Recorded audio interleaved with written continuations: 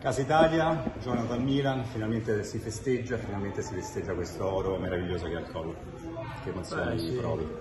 Le emozioni, emozioni sono molte e veramente siamo tutti molto contenti e molto soddisfatti. Eh, domani rientreremo a casa, eh, ad aspettarci ci saranno le nostre famiglie, i nostri amici. Quanto vi sono mancati, quanto ti è mancato non avere così un po' i, cari, la tua famiglia?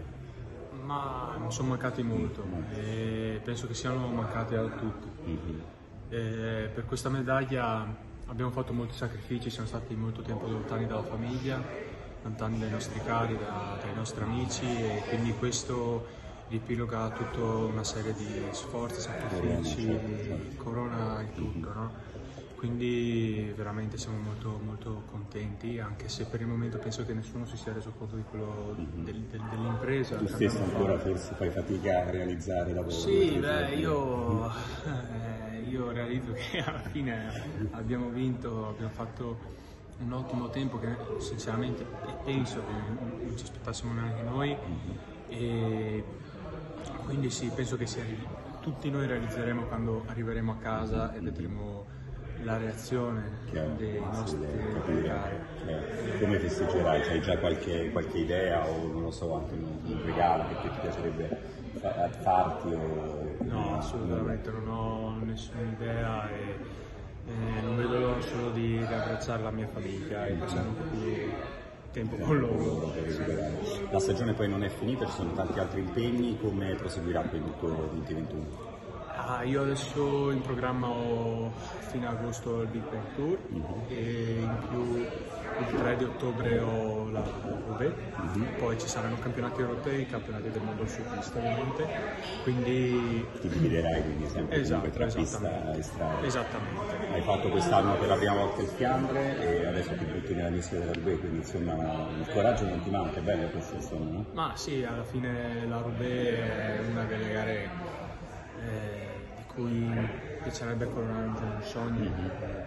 È la tua corsa, cioè quella che ti piace, ti piace Esatto, e quindi solo parteciparci sarebbe, eh, significherebbe molto per Chiaro, me.